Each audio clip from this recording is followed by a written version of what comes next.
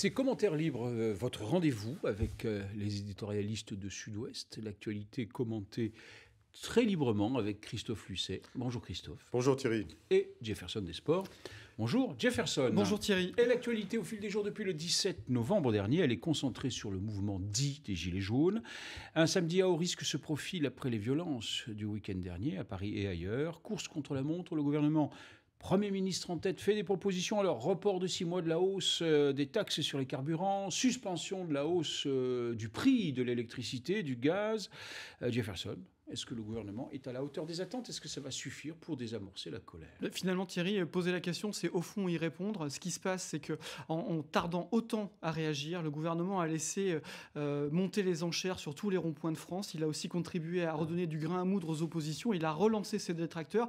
Et à cet égard, on peut se dire que, vu le, mécontentement, la hauteur de ce mécontentement, ces annonces peuvent paraître largement insuffisantes, puisque euh, au fil des jours, sur les ronds-points, le, le mot d'ordre a largement dépassé la transition écologique. On est revenu sur euh, un package complet qui est le pouvoir d'achat au sens large et un vrai ras-le-bol fiscal totalement généralisé. Et donc quand vous répondez uniquement sur des questions de transition énergétique, sur des transitions écologiques, évidemment ça peut paraître insuffisant. Pourtant, il faut quand même être honnête et reconnaître qu'il y a des choses extrêmement concrètes. Je veux dire, euh, les suspensions, la suspension de nouvelles modalités du contrôle technique, c'est important. La, la hausse des prix des carburants n'aura pas lieu. Tout ça est reporté à six mois. On peut même se dire que six mois, euh, est-ce que ça verra vraiment le jour tout ça, c'est le facteur déclenchant. C'est ce que vous voulez nous dire. Hein. Il y a quelque chose de plus grave. Oui, je, suis, je suis d'accord avec Jefferson sur l'idée que, l'idée que les, concessions qui ont été faites par le gouvernement, euh, qui, qui sont des avancées réelles, euh, peuvent paraître insuffisantes au regard des, au regard des attentes des Gilets jaunes. Toute la question étant de savoir, euh, ces, ces, attentes sont-elles raisonnables? C'est-à-dire qu'il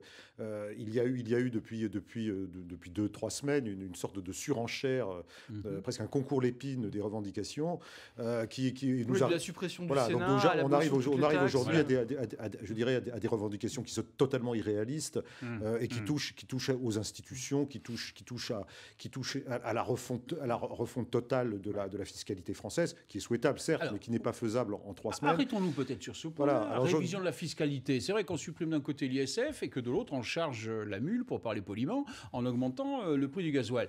Euh, c'est là qu'on a ce sentiment, quand même, d'inégalité fiscale. Ça ne serait pas compliqué. c'est ce qu'on peut appeler de vraies erreurs stratégiques de communication. Ah, rappelez-vous. On en a parlé ici de cette. Rappelez-vous quand, euh, quand euh, l'ISF, quand le gouvernement annonce, la, plus exactement la transformation de l'ISF en IFI, bref, quand il prend cette mesure-là, c'est concomitant à l'annonce de la baisse des APL. Et c'est là où tout, tout le hiatus se crée dans ce début de quinquennat, c'est qu'on donne le sentiment de faire un cadeau aux plus riches sous, sous l'explication de dire que ces plus riches doivent ramener leurs capitaux en France, il ne faut pas qu'ils s'exilent, il faut qu'ils réinvestissent. Sauf que euh, c'est devenu un symbole, c'était déjà un symbole et ça l'est encore plus. Parce qu'il y a eu des annonces contradictoires. Vous avez eu la CSG, on va aller euh, demander un effort aux retraités quand, encore une fois, on revient à l'ISF.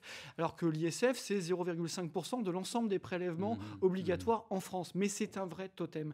Donc voilà, là, il y a eu des erreurs structurelles de communication et, c'est à partir de là que Emmanuel Macron est devenu le président des riches. Voilà. Est-ce que c'est des erreurs de communication ou est-ce que c'est une politique, tout simplement J'entends Jefferson nous parler effectivement de, communication, de stratégie, d'erreur, etc. Que de la simple communication. La, la, question, la question est de savoir, de savoir si, si on est uniquement dans la communication bah, politique ou s'il n'y a, a, pas aussi des réalités. Si vous et, euh, et, et, donc on a un gouvernement qui, qui, est un gouvernement plutôt réformateur. Alors la réforme, euh, voilà. Qui penche à droite clairement. Alors qui, qui, qui, qui, disons, une politique bah, libérale. a pris des mesures. Des finances et de l'économie, le Premier ministre n'était pas spécialement classé à gauche. Qui a pris des mesures de droite, mais qui, qui, qui euh, dont, dont, il serait, dont il serait quand même aventureux de, de, serait aventureux de, de portraiturer comme un gouvernement qui n'a fait que des mesures de droite. Et, par ailleurs, par ailleurs euh, que, que, veulent les, les, gilets jaunes? C'est un peu la question. Est-ce que nous avons, est-ce que nous sommes, on parle de situation quasi insurrectionnelle. Il est, il est quand même incroyable qu'on en arrive euh, aujourd'hui à avoir, avoir ces, ces, ces, ces, revendications tellement multiformes mmh. qu'elles sont, qu'elles sont insaisissables, et, d'avoir également un mouvement qui euh, aujourd'hui refuse quelque chose qui s'appelle la représentation. Alors, c'est-à-dire de façon, de façon très simple, c'est-à-dire comment, comment fait-on pour faire avancer des revendications quand on refuse tout simplement de s'organiser pour les porter? Et ça, mmh. et ça le, vrai problème que nous avons aujourd'hui, c'est comment ces gilets jaunes sont, sont-ils capables ou pas capables d'avoir ce minimum, ce minimum de, de, sagesse qui consisterait à, porter ces revendications sur un terrain vraiment politique? Or, on n'est pas, pas uniquement sur un terrain politique, on est sur un terrain euh, totalement émotionnel qui correspond à des réalités, mais qui, mais qui pour l'instant nous mène, nous mène un peu dans une impasse. C'est le Premier ministre qui est monté au créneau. Euh, c'est normal, Jefferson? Oui, clairement, euh, ben, là, on est dans le respect des institutions. Le Premier ministre, c'est traditionnellement le fusible. Aujourd'hui, on peut même s'interroger de savoir euh, si son bail va vraiment se prolonger, parce que le vrai rendez-vous, c'est samedi. Euh, là, on enregistre cette émission, et on est mercredi. On est mercredi. Samedi, on ne sait pas du tout comment ça va se passer. Mais il y a une, vraie prise d'inquiétude. Et si le Premier ministre est monté au créneau, si ils ont fini par lâcher, si le totem de la fermeté est, tombé, c'est bien parce qu'il y a eu une prise de conscience. Ils se sont dit, là, ça va trop loin. Les mmh. images de samedi ont fait le tour du monde. C'était d'une violence absolue et on ne peut pas se permettre de reprendre encore une fois un samedi noir. Toute la question, c'est savoir comment ça va se passer samedi. Le Premier ministre est monté au créneau, vous l'avez dit. Il fallait regarder son visage, il fallait regarder le son de sa voix. C'était, il était extrêmement marqué. Donc euh, le week-end a été compliqué. On peut se demander jusqu'à quel point la courroie de transmission entre l'Élysée et Matignon n'est pas, euh, pas rompue, mais en tout cas endommagée. Mhm. On se demande si ça, ça tire vraiment dans le même sens, qui a vraiment fait blocage pour ne pas céder. Voilà, donc le, rendez-vous, c'est samedi. quoi. Il peut sauter là, là-dessus, sur ce coup, le Premier ministre, sur cette crise? Bon, personne ne le sait, on verra bien, mm. mais euh, en tout cas, ça dépend. Si samedi ça se passe pas mal. moi, j'aimerais faire un commentaire sur, sur, la, sur, sur samedi, c'est-à-dire la, la, nouvelle, la nouvelle manifestation de samedi. On va, oui, on va en parler de samedi. Moi, j'aime bien. Euh, vous êtes éditorialiste, commentateur, c'est intéressant parce que ça permet de prendre du recul aussi sur ce type d'événement, on en a besoin. Est-ce qu'on a déjà connu, parce qu'on compare souvent cette crise à d'autres, à 68, à 95, etc. Est-ce qu'on a déjà connu des crises aussi graves si vous parlez, vous parlez, de la crise de 95, la Par exemple. La crise de 95, on est, on est, je suis personnellement assez, assez, assez, âgé pour l'avoir connue, mais euh, mettons, que, mettons que la grosse différence, c'est qu'elle était, elle, était menée beaucoup par les syndicats. Voilà, il y avait et, du, et, par, et, là, et, là, on était en face d'un véritable rapport de force euh, politique, un bras de fer, si vous voulez, hein, qui, qui, fut, qui fut très dur, qui fut long, euh, mais évidemment qui était, qui était bordé, si vous voulez, par des, par, des, par des systèmes connus qui sont les systèmes de la représentation syndicale. Ça s'appelle les corps intermédiaires. Voilà, les corps intermédiaires. Donc, donc c'est la, la, grande différence aujourd'hui, c'est cette absence de corps intermédiaire euh, capable de s'interposer. Alors, en 68, on peut considérer qu'on est peut-être plus proche de ce qui s'est mmh. passé. Alors là, pour le coup, j'étais trop petit, mais euh, en, 68, on est en face d'une révolte qui est plus mmh. euh, culturelle, générationnelle, intellectuelle, tout ce que vous voulez, et qui, et qui n'a pas de revendication réellement pratique mmh. et, et, de pouvoir d'achat, sauf lorsque les syndicats, précisément, se sont mis dans la danse avant les accords de Grenelle. Donc, si vous voulez, c'est quand même extrêmement différent. Et puis, puis ça remonte quand même assez loin. C'est une autre génération. Aujourd'hui, nous avons un mouvement qui, effectivement, dans le, il y a un manque de repères sur, sur ce que sur ce qu'est ce mouvement des Gilets jaunes. Et donc, du coup, une certaine angoisse, une certaine anxiété s'empare de la société parce qu'on ne sait pas euh, où cela peut mener. Mais sur le côté unique, rappelons que samedi dernier, il y avait 5000 policiers euh, mobilisés dans Paris. Ça ne s'est jamais vu. Rappelez-vous, si vous voulez prendre des références, vous aviez les émeutes des banlieues, Villers-le-Bel, 2005, etc. C'était circonscrit à des quartiers. Là, la foule a convergé vers les Champs-Élysées, vers la place de l'Étoile, etc. On se rapproche même de l'Élysée de toute façon. On va dans Paris, on est dans les symboles, je veux dire, les devantures qui ont été cassées, les voitures qui ont été brûlées, ce sont dans les rues de la capitale. On est au plus près de ce que représente la France finalement, même si la France, et, c'est toute cette diversité-là. Néanmoins, euh, voilà, il y a quelque chose de, rare. On était dans le centre de Paris, ces images ont fait le tour du monde. Je, reviens toujours sur le plan du, projet politique euh, et, sur, sur, le plan de l'histoire. Alors, il y a une époque que nous avons vécue, nous, Christophe, nous étions au feu, Jefferson lui connaît ses classiques quand même, il a étudié l'histoire. 1983, c'est un peu vieux, mais c'est pas si vieux que ça. Euh, j'ai entendu un, de vos confrères, commentateurs, dire ce matin, bon, 1983, ça a été le tournant libéral euh, de François Mitterrand. Euh, il est passé du social au libéral. Est-ce que Macron va peut-être devoir passer du libéral au social? Est-ce que ça va peut-être être le tournant de ce quinquennat? Bah, la vraie question, c'est de savoir s'il peut encore réformer. D'accord. Parce qu'il est, élu. Oui, parce il que derrière, il y a la retraite qui arrive. Il, dit voilà, moi, je vais, on va transformer le pays. C'est toujours le discours. Ils disent aujourd'hui, bon, mm. euh, l'objectif est toujours le même. Mais dans, ce, dans le contexte social que l'on connaît, il n'y a plus une réforme qui passe pour l'instant. Tant qu'on n'est pas sorti de cette crise des gilets jaunes. à la source en janvier, là, ça va faire drôle. Et à hein. quelle euh, hauteur on va en sortir À quel niveau on va en sortir Et derrière, tout l'enjeu, c'est ça, c'est de reprendre le fil. Maintenant, vous avez cédé. Euh, maintenant, après, voilà, vous avez cédé une première fois. Est-ce que vous céderez pas une seconde fois Donc ça pose beaucoup, beaucoup de questions et on peut au moins se dire qu'à ce stade, on, a, on peut avoir le sentiment qu'Emmanuel Macron a perdu très gros. Le fil est rompu. Il est clair que c'est un tournant de son quinquennat. je crois que tout le monde, tout le monde en a conscience. Euh, est-ce qu'il est, est, qu'il est aujourd'hui un président, un président condamné à l'immobilisme?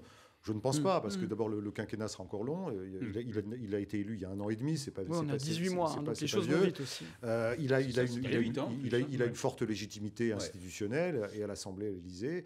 Euh, et puis les Français n'ont pas, les Français n'ont pas voté pour, pour, pour cinq années d'immobilisme, si vous voulez. Donc, donc assez rapidement, on va s'apercevoir que, ça va s'apercevoir que, que le pays a besoin d'avancer. Mm-hmm. Donc, évidemment, il va falloir digérer cet épisode.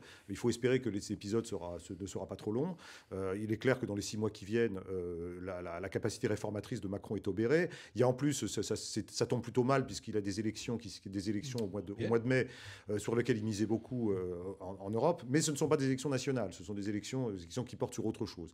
Donc il y aura peut-être une sanction dans les urnes, nous verrons bien. En tout cas, en tout cas moi je crois que la capacité réformatrice, mm-hmm. elle va devoir, elle, va devoir s'adapter, mais elle est, elle est nécessaire et, et, les Français, dans leur grande majorité, le pensent. Alors que, mettons, quel contenu mettons dans la réforme? Toute la question est là. Mais euh, je rappelle quand même que Emmanuel Macron, lorsqu'il avait, été élu, avait, avait quand même euh, expliqué qu'il voulait marcher sur ses deux jambes. Alors, euh, il, il s'est peut-être plus appuyé sur sa jambe droite jusqu'ici, mais il n'a jamais été question pour lui de, se contenter de, sauter à cloche-pied sur la jambe droite. Non, mais il y a quand même une vraie philosophie qui s'est quand même dégagée sur sa philosophie politique, même s'il a dit qu'il voulait marcher sur deux jambes. Il y a quand même une dominante libérale qui est affichée, qui est affirmée, avec toujours cette, cette notion, je vais reprendre sa, phrase, sa petite phrase, traverser le bout de la rue, traverser la rue, vous trouverez du boulot, prenez votre risque, soyez l'acteur de votre vie, n'attendez pas des autres. C'est aussi ça la philosophie du macronisme. Donc ce qui va peut-être changer, en tout cas, ce sera, euh, à mon avis, il va falloir changer la méthode. Et jusqu'à présent, ce gouvernement a réformé au pas de charge, a réformé comme jamais. C'était à son crédit, c'était à son actif. Sauf que là, il, est, tout, tout, le scénario vient de s'enrayer.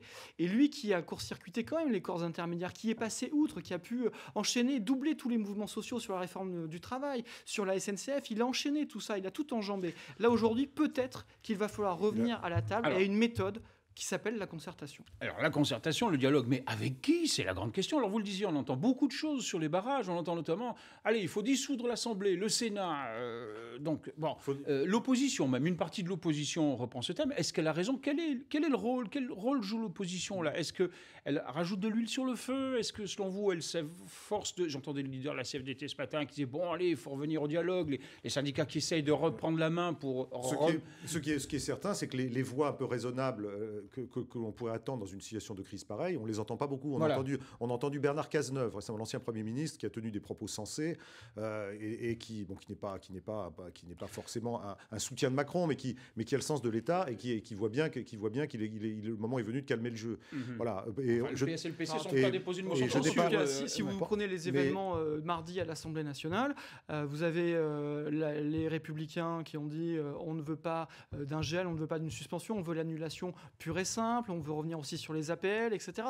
Donc ça, ça ne contribue pas à apaiser le dialogue, puisque ça contribue à faire, monter les, à mmh. faire monter les enchères. Et derrière tout ça, in fine, tout le monde a quand même l'envie et espère euh, profiter de l'affaiblissement d'Emmanuel Macron. Or, pour l'instant, on voit qu'il n'y a pas vraiment d'alternative. Mais qu'est-ce que veut dire profiter de l'affaiblissement d'Emmanuel Macron? Justement, mais c'est euh, là où on a souvent parlé sur ce plateau de l'hypocrisie de tous autour de ça. Euh, je veux dire, hier, non, c'est aujourd'hui, le, chef de l'État a lancé un appel au calme aux partis, aux syndicats. C'est pas neutre. Là, il y a vraiment un, un danger. Il faut que tout le monde se ressaisissent et on ne peut pas euh, euh, partir sur une manifestation qui dégénère samedi et qui se termine bah, mal. Allons-y samedi. Qu'est-ce qui... Alors bon, cette émission, on est mercredi, on enregistre l'émission mercredi, on va, va pas lire dans le mar de café. Non. Euh, samedi à haut risque, vous pensez, oui, la, police a, pris bonne note de ce qui s'est passé samedi dernier. 5000 hommes à Paris, ça suffit pas, ils vont changer la méthode.